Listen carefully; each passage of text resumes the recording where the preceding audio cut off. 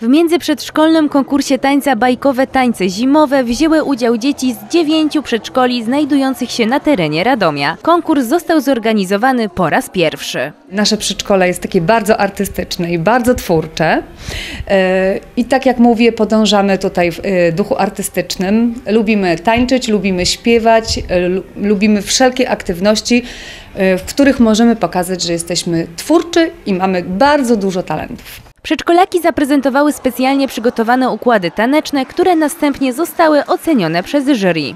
Wrażenia super, dzieci przygotowane rewelacyjnie, bardzo, ale to bardzo wysoki poziom. Zwycięzcami pierwszej edycji konkursu zostały dzieci z przedszkola publicznego numer 9. Drugie miejsce zajęli przedstawiciele przedszkola niepublicznego Domek Świętego Antoniego, natomiast trzecie miejsce zdobyły maluchy z niepublicznego przedszkola integracyjnego Ekoludki.